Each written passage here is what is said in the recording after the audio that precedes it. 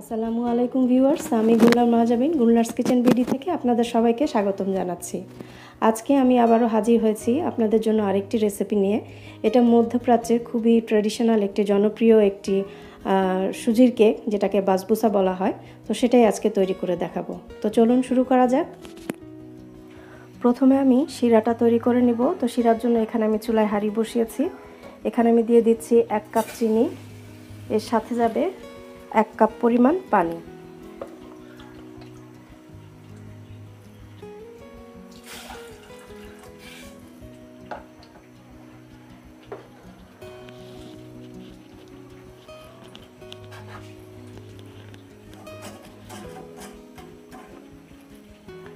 চিনিটা গলে গেলে এটা হয়ে যাবে। আর এখানে এক তার বা দুই তারের শিরা করতে হবে, এমন কোনো কথা নেই। বাটারি ফ্লেভারের জন্য এখানে আমি দিয়ে দিচ্ছি এক চা চামচ বাটার, চিনিটা গলে গেছে। তো এখন আমি এর মধ্যে দিয়ে দিব এক চা চামচের মতো লেবুর রস, যেন চিনিটা ক্রিস্টালাইজ হয়ে না যায়। তো এটা যেহেতু হয়ে গেছে, এখন আমি এটা চুলাটা বন্ধ করে দিব, এটা ঠান্ডা করার জন্য।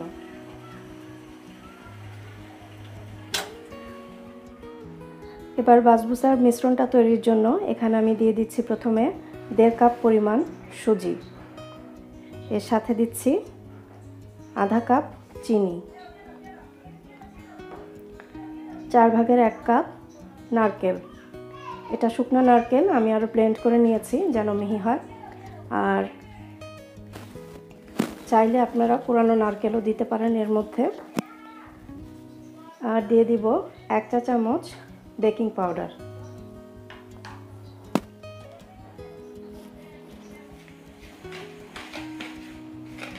এখন আমি এর মধ্যে দিব আধা কাপ পরিমাণ তেল।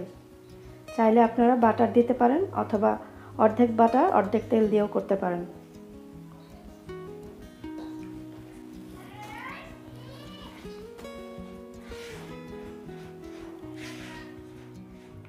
এখন দিব এর মধ্যে দুধ। দুধ আমি এখানে নিয়েছি এক কাপ। আমি আস্তে আস্তে দিব।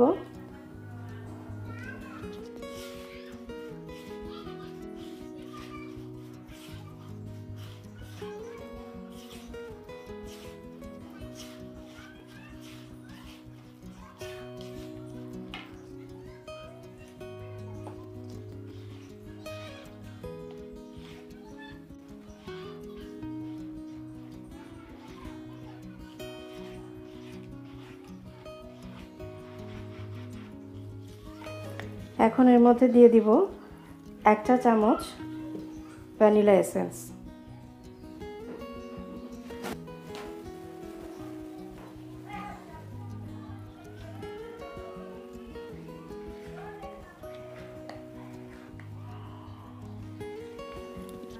এটা আমি এখন পাঁচ থেকে সাত মিনিটের জন্য রেস্টে রেখে দিব।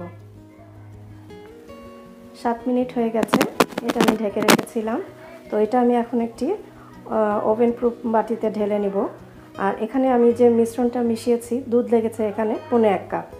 তা আমি একটি ওভেন প্রুফ বাটি নিয়েছি, এটা আমি আগে থেকে বাটার ব্রাশ করে রেখেছি, এটাতে আমি এখন ঢেলে দিব।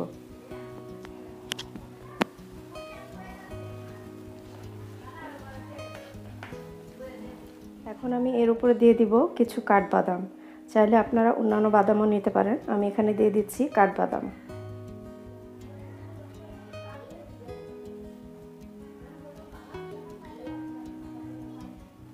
ওভেন আমি একশো আশি ডিগ্রি সেন্টিগ্রেডে প্রিহিট হতে দিয়েছিলাম, তো এটা আমি এখন ওভেনে দিয়ে দেব।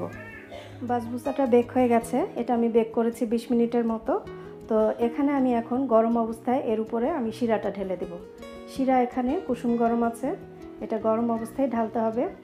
ঠান্ডা হলে কিন্তু এটা ঢাললে কোনো কাজ হবে না, শিরাটা ভিতরে ঢুকবে না।